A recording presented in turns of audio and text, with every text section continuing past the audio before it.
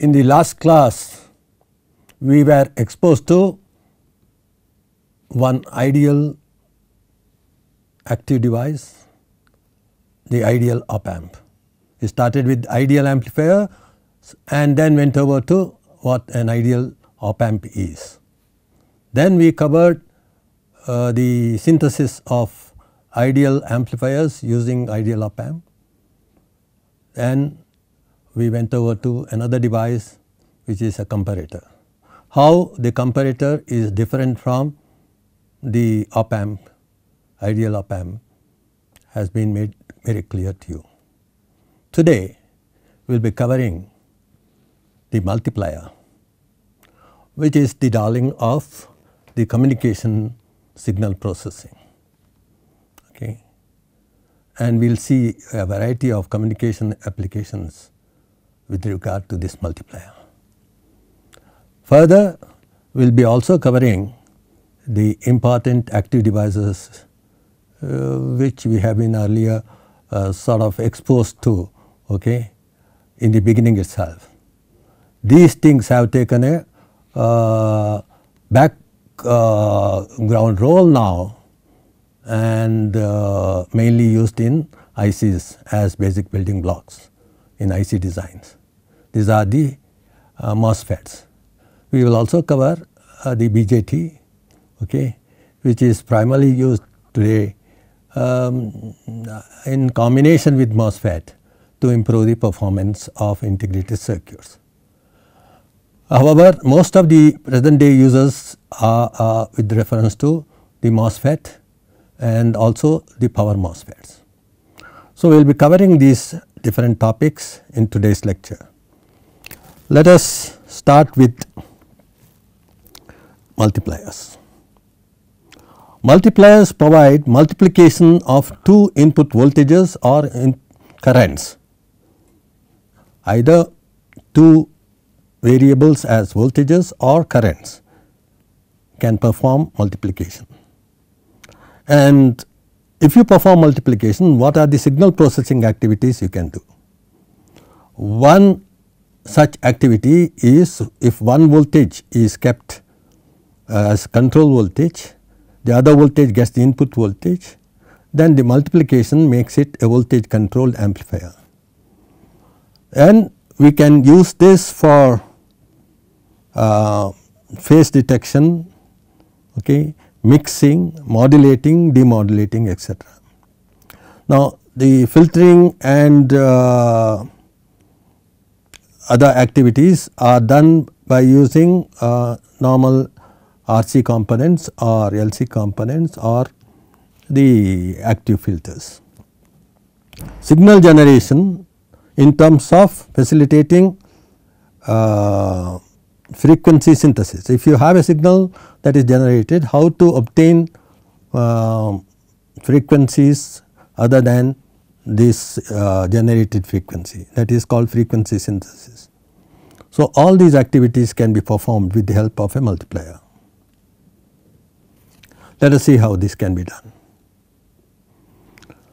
Are commercially available okay, as voltage controlled amplifiers that is why multiplication uh, need not really uh, frighten us. It is nothing but a voltage controlled amplifier which can be used as a multiplier. Current controlled amplifiers, digitally controlled amplifiers, even uh, we will say uh, us see that DAC is acting as a multiplier where one variable is a digital word, the other is a, an analog signal. Okay. So, however, the general analog multiplier can be given as V naught equal to since there are two inputs let us now consider there are going to be two inputs Vx and Vy. So, if output is a function of generally uh, these two variables then whatever be the device that does this function if it is nonlinear then we can show that V naught is going to be a factor which is independent of Vx and Vy that is called offset. If it is current output it is a current offset. So, this is independent of the two inputs. Then one output due to only Vx that is linearly related to only Vx independent of Vy. Another linearly related to Vy independent of Vx. These are called feed through components. Okay. In a multiplier these do not have any place to appear. The out wanted output is this primarily it is k naught into Vx into Vy that is important for us in multiplication. Of other terms in this which are for example, functions of Vx squared, Vy squared, Vx squared Vy, Vy squared Vx these are all called the nonlinearities okay, in a multiplier. The offset is the DC offset voltage that has to be uh, made equal to 0 and these feed through components also have to be made equal to 0 after which k naught can be adjusted to a standard value. In precision multipliers k naught is we will see is adjusted to something like 1 over 10 volts okay, where Vx and Vy have limitation of plus minus 10 volts that is called a 4 quadrant multiplier. Okay. So, this is the 4 quadrant multiplier I am talking about. Vx can take both polarities Vy also can take both polarities output changes when any one of these two okay, change polarity. So, that is why it is covering the entire uh, 4 quadrants of one of the variables Vx where Vy is the parameter that is varied. Okay. So, let us say Vy is kept constant then uh, at uh, 10 volts okay, then uh, output is equal to Vx. Okay. So, that is a, uh, it gives a unity gain okay, slope. Okay. So, that means by varying Vy to different values you get amplifiers with different gains okay, linear amplifiers with different gains. You can even make it inverting type of amplifier by just changing the polarity of this DC voltage. So, it becomes inverting or non-inverting amplifier and the slope can be varied by changing this voltage. That is why it is a voltage controlled amplifier basically. Right. Now, what are the methods uh, in hardware um, you can actually fabricate this multiplier. Basically, I would consider these two are the most important methods okay, uh, to obtain electronic multipliers. V naught is going to be equal to mathematically we know that Vx plus Vy whole squared minus Vx minus Vy whole squared divided by Vr. That means, you add the two inputs square it, subtract the two inputs and square it and then subtract these two terms. Then you get this output as 4 Vx Vy that divided by Vr because output is a voltage the dimensional of the constant k should be 1 over voltage. So, we get here 4 Vx by uh, 4 Vx Vy by Vr as the output. So, this is one way to obtain a multiplier. Another way is using squaring devices, uh, this is using squaring devices and adders. This one is V naught is anti log of summation of log Vx plus log Vy minus log Vz this is log anti-log multiplier it is called anti-log of log of now Vx into Vy by Vz which is nothing but Vx Vy by Vz. Now, so this results in okay, multiplier cum divider. So, this is really very interesting. Here we have a multiplier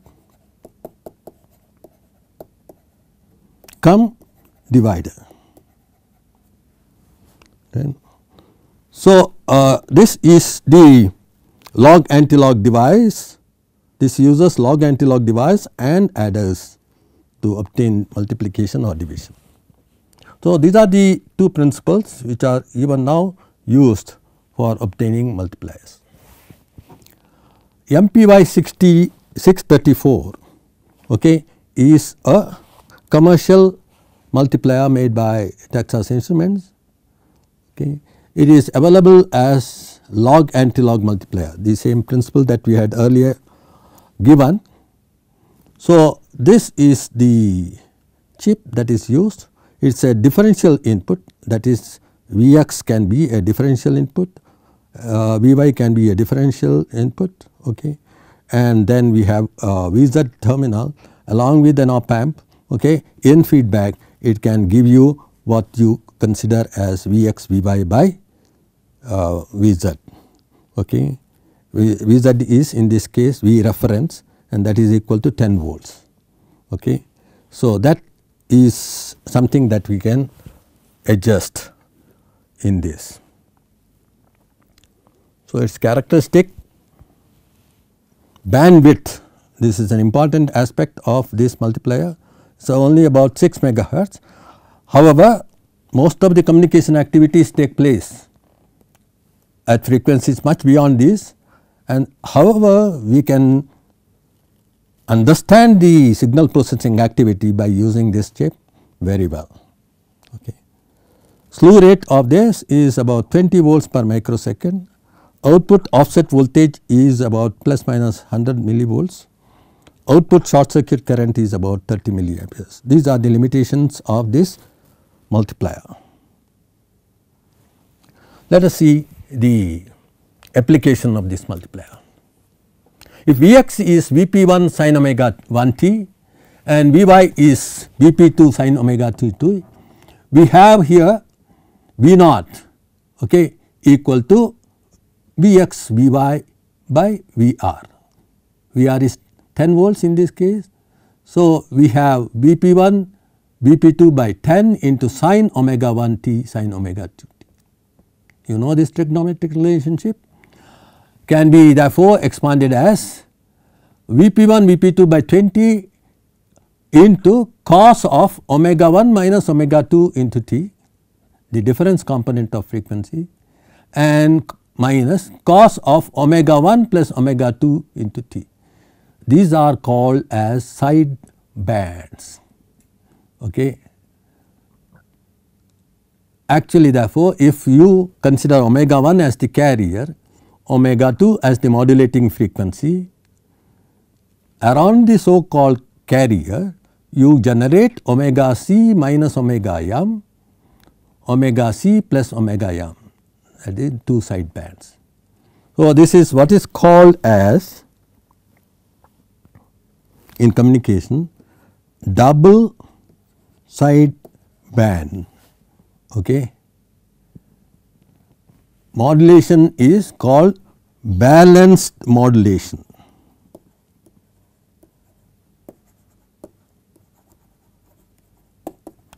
That means, this is a balanced modulator circuit under this role when omega 1 is the carrier and omega 2 is the modulating frequency. So, this is one way of uh, modulation which is adopted in communication. Let us see what happens when we simulate this with uh, this is the this is called a mixer also. It can be either called as a modulator balanced modulator or mixer. Okay. So, F1 is 10 kilohertz, F2 is 1 kilohertz, omega 1 is okay, 2 pi into 10, omega 2 is 2 pi into 1 radians per second. Vp1 is 2 volts, Vp2 is 1 volt. This is taken as an example and this is the so called carrier frequency which we have chosen 10 kilohertz and this is the modulating frequency 1 kilohertz maybe audio frequency. So, we have now the output which produces omega 1 minus omega 2 omega 1 plus omega 2 which is the double side band waveform you can see this waveform here. So, the signal comes like this here and like that there okay this is the signal modulating it. So, this is the output of the mixer.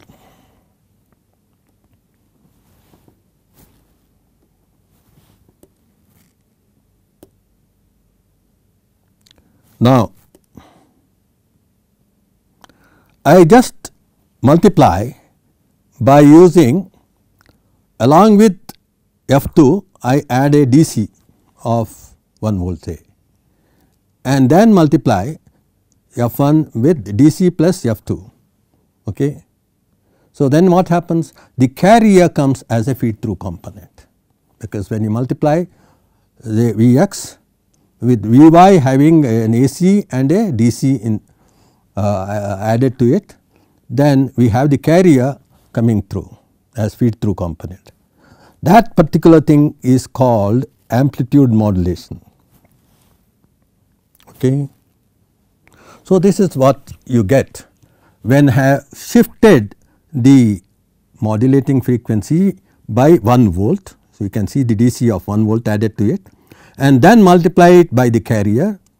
This carrier comes as such and then its amplitude is modulated okay, by the modulating frequency on either side you can see.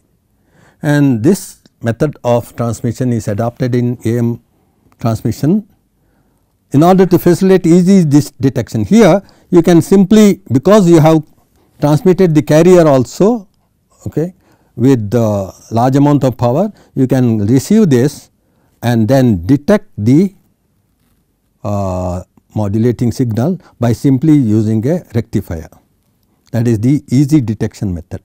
Okay. That is why this particular multiplier application is the one where you are having a feed through component at the output. So, we have discussed uh, amplitude modulation okay, and uh, double sideband in communication. The other one uh, application is linear delay detection. Okay. Let us suppose that one input is a square wave, another input is a square wave with a certain amount of delay let us say tau okay. That is applied to the other but both with same frequencies. Then when you multiply you can see this is plus 10 volts and this is minus 10 volts. So, plus 10 volts into minus 10 volts E divided by 10 volts is minus 10 volts. So, when both are plus it is again plus 10 volts. Again when it is changing this one is changing to minus 10 and okay, this is at plus 10 it is minus right. So, within one half period you have one full cycle of this output okay. And then again this whole thing gets repeated and that way we have produced once again okay, the uh, double the frequency because it is omega here and omega here double the frequency with a DC. What is the DC average? You just take this area. DC is corresponding to the area okay, total area over this time period t. So, this is minus 10 into tau okay, minus 10 into tau this is that area plus 10 into t minus tau divided by the uh, half the time period t by 2. So, this is the average voltage of this uh, output. Okay. So, you can therefore see that this becomes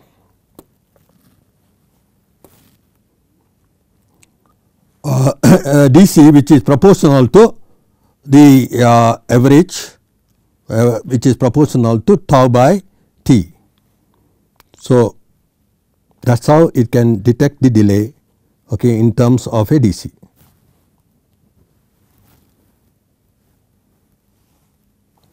Now, I am also going to show you uh, this simulated. You can see that average is what we have just now computed is 10 into that is the DC voltage 1 minus 4 tau by t. So, for example, if the phase shift is or the delay is by t by 4, okay, this becomes 0. So, that is what I have done. I have applied uh, V y here and this is V x which is delayed by uh, T by 4 okay. and then the output here is just this that we had already shown in the earlier diagram and if you take the average of this that is 0 okay, because positive area is same as negative area and it has produced twice the frequency. So, this, this phase de uh, delay detector is the one that is used in phase lock loops okay, and uh, in any place where you want phase detection or delay detection.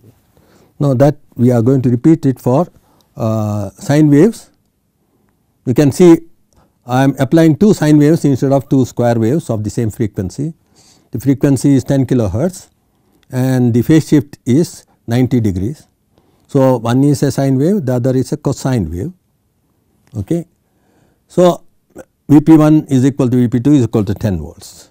So, then we get 10 into 10 divided by 20 that is 5 volts okay, and double the frequency with the cos phi because now the omega 1 minus omega 2 because the two frequencies are the same with their phase shift. Okay.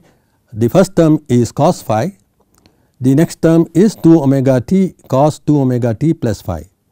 So, this is the cos 2 omega t plus phi, okay, phi being pi by 2 it again becomes a sine wave okay, and the average is 0. We will do this for a phase shift, this phase shift of 90 degree is called quadrature. Okay. So, if you have a sine and a cosine applied to the multiplier, you get double the frequency as the output with 0 DC. So, now it is the same frequency, the phase shift is adjusted to be 60 degrees. Okay. So, cos 60 is half so, we have V p 1 equal to V p 2 equal to 10 volts. So, it will be 10 into 10 divided by 20 cos phi which is half okay, which is therefore going to result in uh, voltage of 2.5 volts as the uh, DC average. Okay. So, this is the uh, uh, twice the frequency component emerging with a DC shift. Okay of 2.5 volts. So, these are the applications of this uh, particularly here I can show that this is also used in electrical engineering as an analog uh, wattmeter for example. If Vx is the proportional to the line voltage using a, a voltage transformer and Vy is uh, proportional to the line current using a current transformer you can actually get the output average as uh, nothing but proportional to the real power okay, which is going to be uh, the uh, voltages multiplied and cos uh, phi. Okay. So, it can also measure the power factor okay, and uh, that is why it is almost equivalent to a wattmeter. Okay. Now, the fourth example that we are taking for the application of the multiplier is nothing but sine wave generation from a triangular wave. So, the triangular wave okay, can be generated in terms of for example, sine wave sine x is nothing but a polynomial in x okay, Taylor series expansion of which is x minus x cubed by factorial 3 plus x to power 5 by factorial 5 so, so on and so forth. That means, any periodic waveform can be generated from uh, the uh, what is that uh, triangular waveform okay, using this polynomial series for expansion. So, x is nothing but the original triangular input then you have to cube this and divide it by fact, factorial 3. Let us approximate it to this sine wave. If x is a triangular waveform, it is possible to create a sine wave by using x minus x cubed by 6. So, this is what is done. You can see that this is the input triangle, this is uh, cubed by using uh, uh, first squaring by feeding the uh, uh, same input to of this triangle to one multiplier you get squaring. After squaring the squared output is again multiplied with the original triangle and you get the cube. And the cube is then subtracted okay, from the original triangle as x which is omega t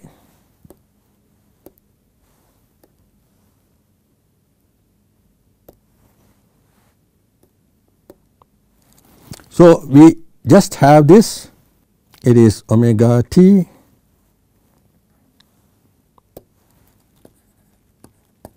minus omega t cubed divided by 6. So, that is what is done. Okay. You will therefore see that okay, this is what is done omega t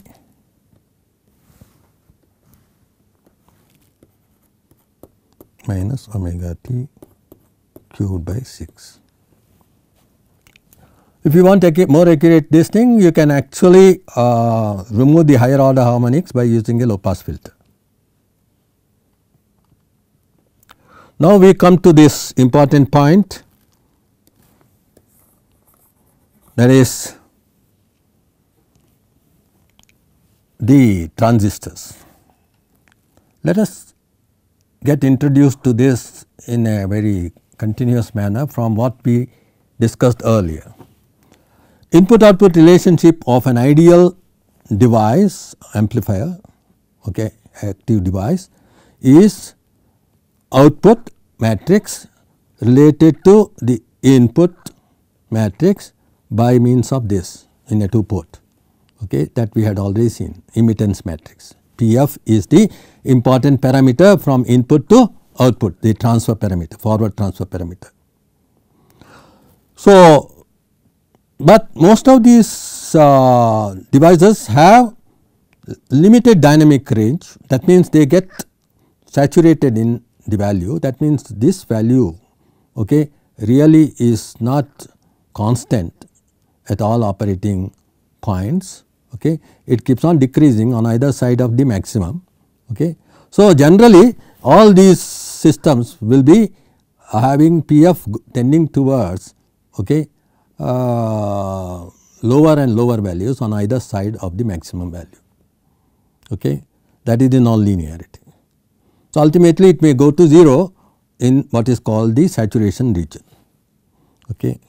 It is really a small variation of the output caused by a small variation in the input.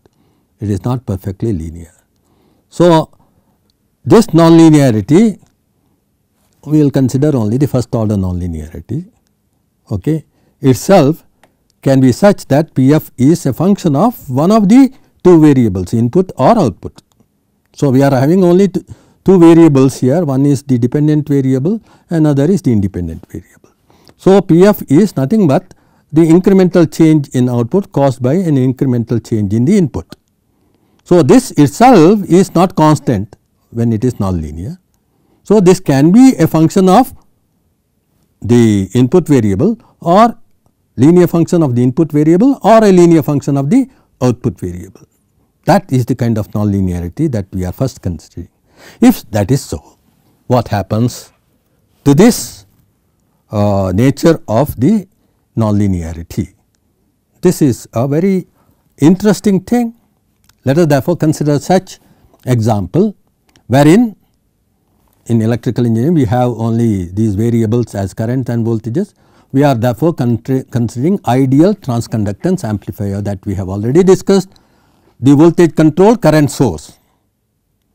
So, the output variables are the uh, currents okay, and the input variables are the voltages and this is the tra uh, transconductance GM we will call it as it is normally called input to output the transfer of uh, input voltage to output current is occurring by the transconductance here.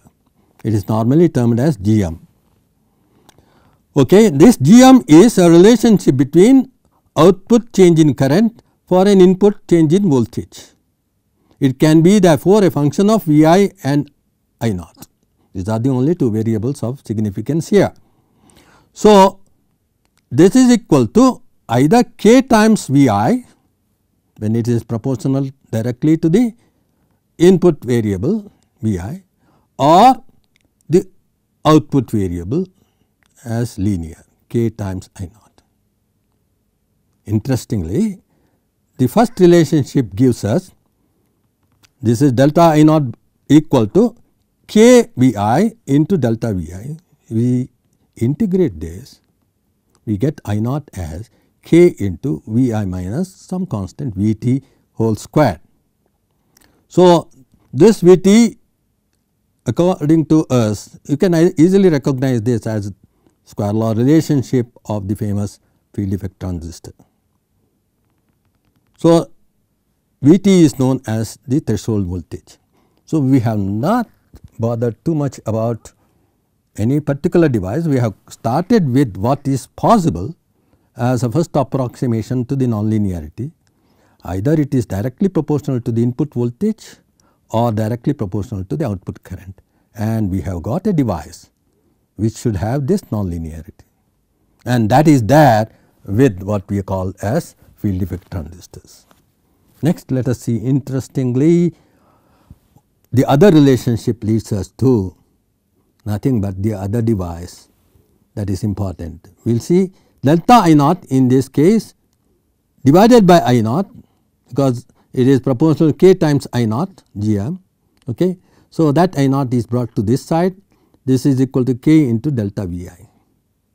So, we get here log of I naught is equal to k into V i uh, after integrating and I naught is equal to I s into exponent k V i minus 1. So, if you include the constant also. This I s therefore, is known as reverse saturation current in the case of a bipolar junction device. So, this results in the bi bipolar junction transistor relationship.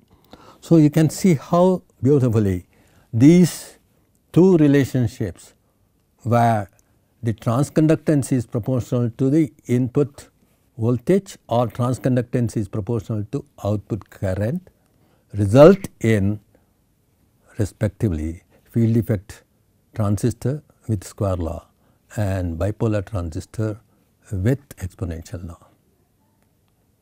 So, uh, these are the uh, and even in uh, field effect transistor this if you are operating in what is called above threshold region it is going to follow the square law and below threshold region it jumps into the other uh, device characteristic that is exponential law.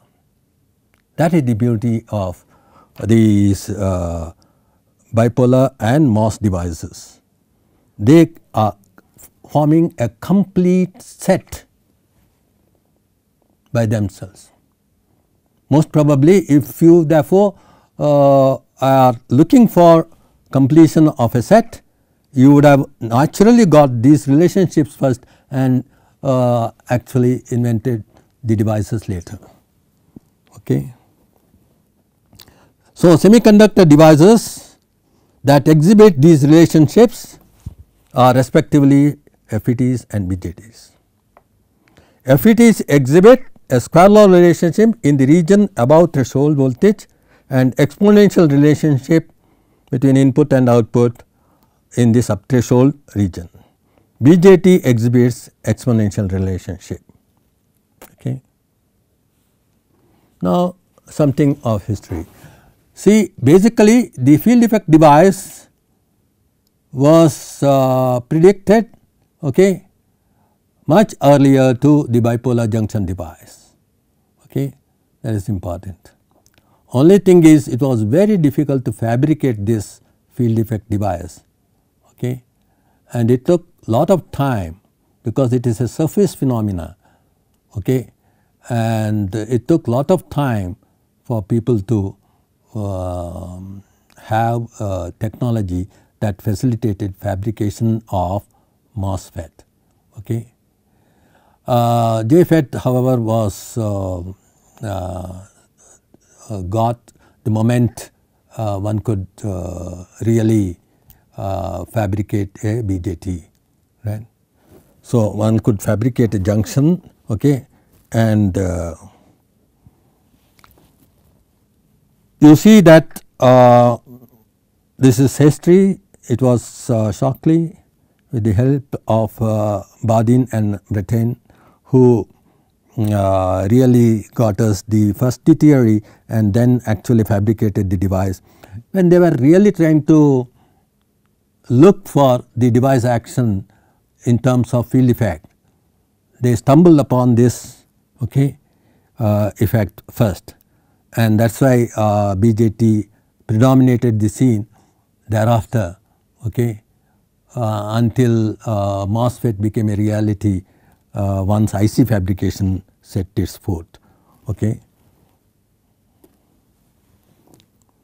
So, now uh, what are the situations regarding present status of these devices?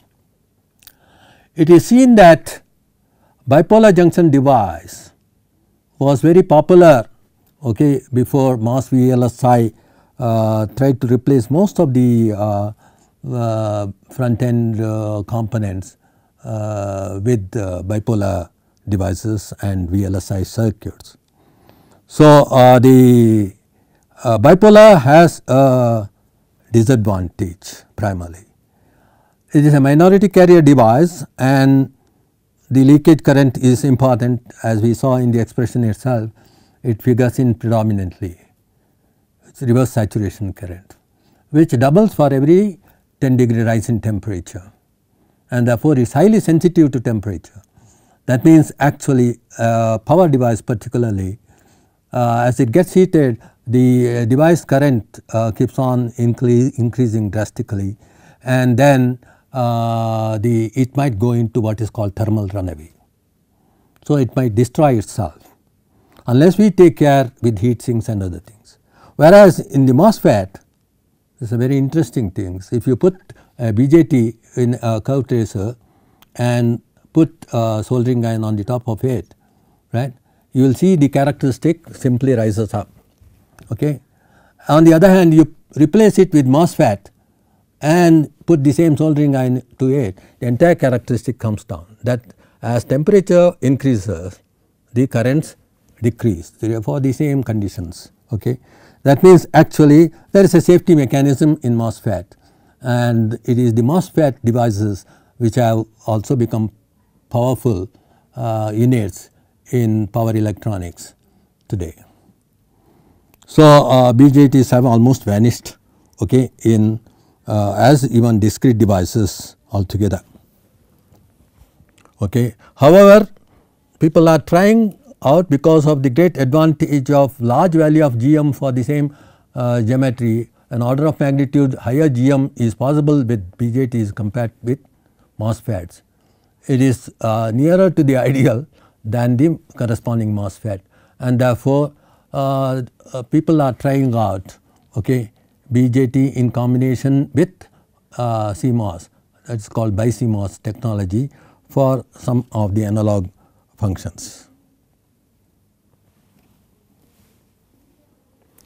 Now, uh, this is uh, the sum and substance of electronics today and therefore, uh, the uh, particularly today the uh, devices using discrete small signal uh, low power bipolar devices have vanished altogether in industrial usage. So, because of the fact that MOS as a device has this weakness that the gate oxide which is coming right at the input between the gate and the source is very sensitive to uh, the voltage right. So, because of uh, this uh, that uh, very high input impedance possible with MOS it cannot be directly used for that high input impedance because one might destroy the gate oxide by just touching it. So, uh, even though in inside integrated circuit is well protected as a device by itself it is uh, not a rugged device unless you put protection circuitry between the gate and the source which again will bring down the uh, high impedance it has. Okay. So, uh, these uh, are uh, for IC applications right.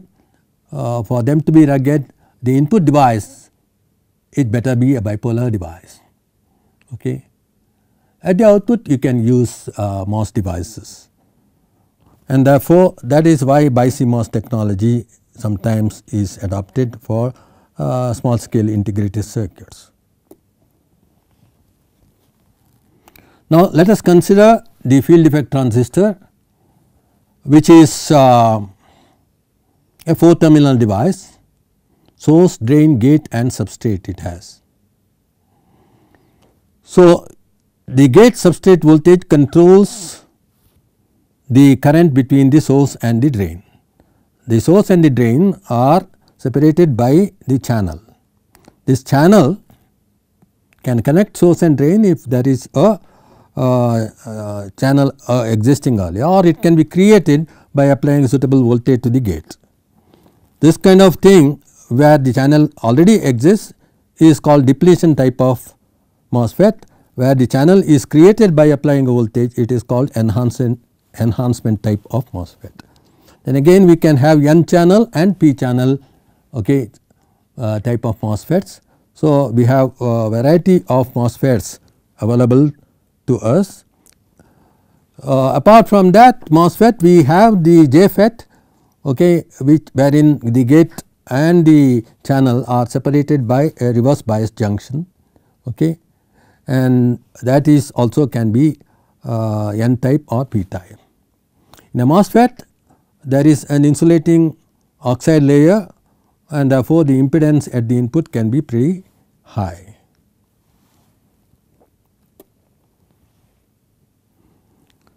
So, now we come to the preferred uh, devices in VLSI. Enhancement mode of uh, FETs are predominantly used. Why? Because source and drain are not connected initially, they get connected only if a suitable voltage above threshold voltage is applied to the gate with respect to the substrate. And therefore, this uh, is normally off device that if you do not apply any voltage it is off right. If you apply 0 voltage it is off right. So, this normally off devices are suitable for uh, digital uh, design and therefore, it is going to be made on only if an applied voltage is crossing the threshold voltage. So, because in today's world 99 percent of signal processing is carried out digitally and the digital technology is what governs what you use. So, enhancement type of MOSFETs have been universally used in VLSI. On the other hand, if there is a choice for analog processing depletion mode of FET is suitable mainly because with 0 voltage as bias voltage you can directly apply a signal and it is working in the active region. That means gate voltage can be made to go positive or negative it still works as an active device.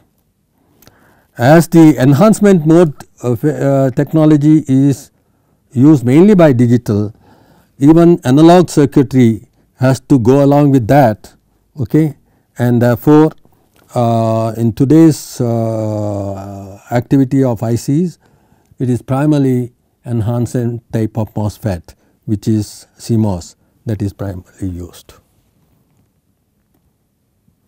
So, let us now consider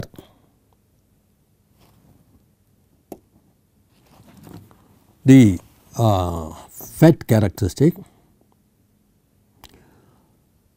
IDS that is drain to source voltage okay, uh, is drain to source current IDS is equal to k by 2. We used k earlier, but that we will put as k by 2 into VGS minus VT whole square. This is the saturation current in the what is called active region that is called the current saturation region as long as VDS is greater than VGS minus VT this is valid for the N channel enhancement device. For VDS less than uh, let me just see there is a mistake there. VGS minus VT right. It is uh, IDS this is what IDS is equal to K into VGS minus VT into VDS minus VDS squared by 2. Right. So, VDS less than VGS minus VT IDS is equal to okay, this is the value of IDS. That is called the triode region that is before it reaches current saturation. This is the region where it is normally used as a resistor voltage controlled resistor. This is the region where it is used as an active device as an amplifier. And this is the physical appearance of an integrated circuit MOSFET where we have uh, N as source, N plus source and drain and by applying uh, voltage here okay, which is uh, positive you can make this surface go into inverted mode compared to the substrate which is P. So, that links the source with drain with a channel of these minority carriers electrons come towards this and make this N. So, it can be made plus by applying higher voltage. So, that is why it is called enhancement mode of MOSFET where this conductance here is enhanced by applying a voltage here.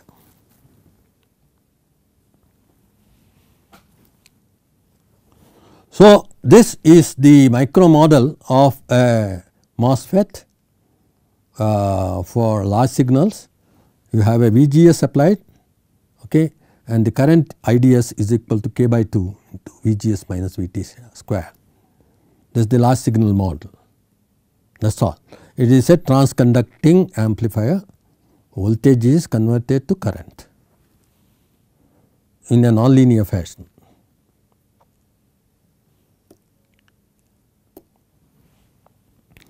The micro model of a higher level uh, this is the micro model for small signal. See where delta VGS is the change in input voltage okay, and uh, it is called GM into delta VGS. What is this value of GM? You can simply consider it as a change in output current for a change in input voltage delta IDS by delta VGS.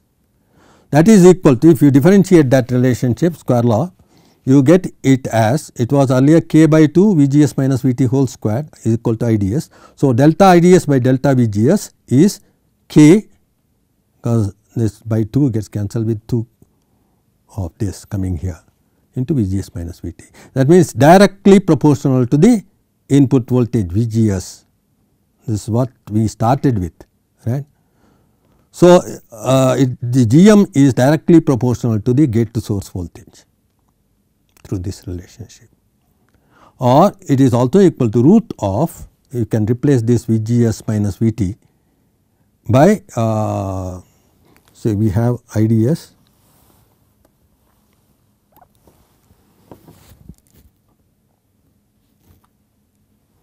we have therefore IDS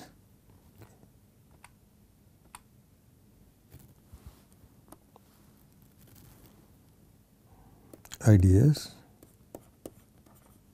equal to k by 2 VGS minus VT whole square. So, you differentiate this you get this 2 here it becomes k into VGS minus VT.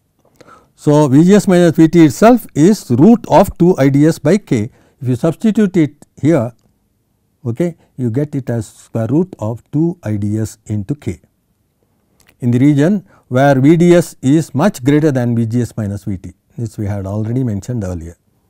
Okay. Now, higher level model for this it is just that the current is not constant at the saturation value throughout it is IDSS into 1 plus lambda times VDS again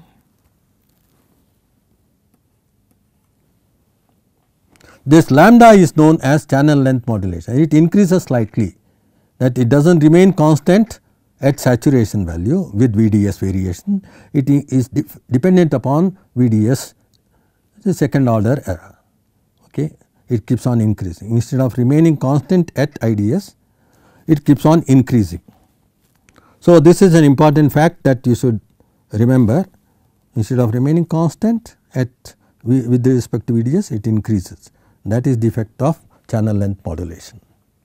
So, GDS which is the variation in IDS with respect to VDS okay, IDS variation with respect to VDS at the output it is called output conductance of the device okay, it is not 0 it is delta IDS by delta VDS which is lambda times directly proportional to IDSs roughly. Okay. So, this is the second order effect that there is a finite not non infinite output resistance. The high frequency equivalent circuit we have these between every electrode okay, two electrodes you have a capacitor. So, between gate and source between these are all overlapping capacitors they are called gate and drain and then drain and substrate. Okay. So, we have these capacitors in addition to the earlier circuit. Okay. Bipolar junction transistor is a three terminal device emitter, base and collector. Now, you see the number of process steps increase here that is why it is a not a preferred device okay, in integrated uh, VLSI schemes mainly because the more the number of steps less will be the yield in any technology right. So, uh, the uh, MOS device requires the least number of steps compared to the bipolar device. That is why bipolar device has been totally rejected okay, as a device for VLSI structures. So, BJT is a 3 terminal device emitter, base and collector. Okay. This is a collector, base and emitter. This should be normally N plus region. So, made very rich okay, in electrons here. So, that the total current is IE is made up of only these electrons in N plus region. So, that is uh, the transistor action here simply means by suitably forward biasing emitter base junction okay, and reverse biasing collector base junction the entire current IE is made to appear as collector current. That means IC is very nearly equal to IE okay, and uh, that is a factor called alpha. Alpha is very nearly equal to 1 in a good bipolar junction transistor. So, then since it is a forward bias junction at between emitter and base IE is equal to IE naught reverse saturation current exponent VBE in divided by VT. This we had already seen for a diode. Okay. The emitter current is very nearly transported to the collector current if it is suitably forward biased between base and emitter and reverse biased between uh, collector and base. The emitter current is very nearly transported to the collector current. This results in IC is equal to alpha by 1 minus alpha times IB or this is called beta factor and beta is going to be very high typically of the order of 200 or so in the case of bipolar junction transistors times base current. If you express this in terms of base current as the input. Then VB is equal to VT log IE by IE naught. This is the input relationship from which you can find out delta VB by delta IE and that will be the uh, input uh, resistance. Okay. Common emitter configuration of the transistor IC is equal to alpha IE naught exponent VB by VT, GM which is delta IC by delta VB therefore, is equal to alpha IE naught exponent VB by VT okay, divided by VT. If you uh, differentiate this you get this. So, that is equal to alpha IE okay, divided by VT. Okay. So, this is the GM VT is typically kT over Q. Okay, about 26 millivolts at T equal to 300 degree Kelvin room temperature. This is what you should always remember. And this is the equivalent circuit of the BJT in common emitter you call as. The impedance 1 over GM appears as beta plus 1 okay, that is the difference between the uh, emitter current and the base current okay, beta plus 1 into 1 over GM. And this is what is called RCE, this is the second order effect. Okay. This is coming as an impedance across the current source. So, again it is a transconducting uh, device. So, this is what I have already mentioned to you right and uh, the relationship between alpha and beta is this.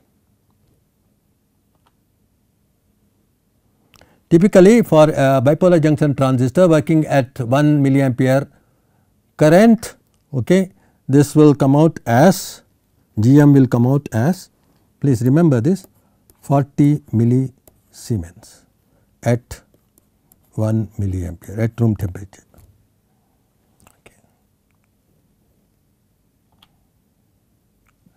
Now, we come to the model of 3 terminal transconducting devices. If GM tends to infinity what happens? It again becomes a, operational amplifier type of device. Therefore, you can just see that this is a 3 terminal device now where the transfer parameter goes to infinity. If originally all the other parameters are 0 and only GM exists. If GM is made to go to infinity for finite output again the other parameter that you have assumed to be finite also goes to 0. It becomes a nullator at the input port and norator at the output port. So, we are now developing the narrator norator model for the uh, bipolar transistor as well as MOS. Both MOS and bipolar transistor have the same equivalent as nullator norator in the following fashion. So, when GM goes to infinity between the base and the emitter that is the input voltage okay, that goes to 0 and the base current goes to 0 okay. anyway gate current was originally itself 0. So, we have this becoming a nullator both for MOS as well as bipolar base and emitter region is replaced by nullator, gate and source is replaced by nullator. And since this source current now cannot flow here, it will flow through the drain or emitter current will flow through the collector. So, norator comes in series at the output, nullator comes in series at the input. That is the model if emitter is common between input and output or source is common between input and output. So, both these transistors lead to the same model the nullator norator model in 3 terminal. Okay. Now, we have synthesized several such structures using uh, nullator norator voltage amplifier with gain 1 this is the earlier synthesized model and that can be replaced by a transistor like this, the junction being emitter or source, this being collector or drain end of norator, this being the end of nullator base or gate. If you replace this you get a common collect uh, this uh, uh, particular structure okay there is a mistake again it is this that is emitter.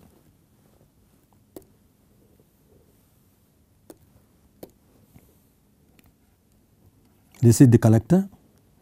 So, same thing this is source follower, this is an emitter follower.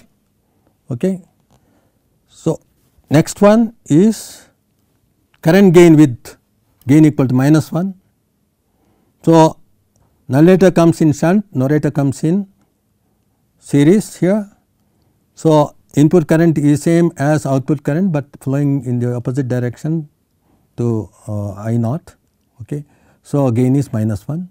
So, that is again replaced by a bipolar transistor here and a MOS transistor there resulting in this is nothing but common base or common gate which is known to have gain equal to minus 1. Then this is the transconductor amplifier that we have synthesized. Again replacing the transistor with either MOSFET or bipolar result in this kind of transconductor amplifier design. And you can see these realizations okay, are nothing but this is called emitter degeneration topology. This is uh, this is the source degeneration topology, this is the emitter degeneration topology. This is the last one trans resistance amplifier here. So, we have this RF coming in shunt here, nullator in shunt, norator in shunt resulting in a current getting transferred to the output as voltage II into RF with a negative sign.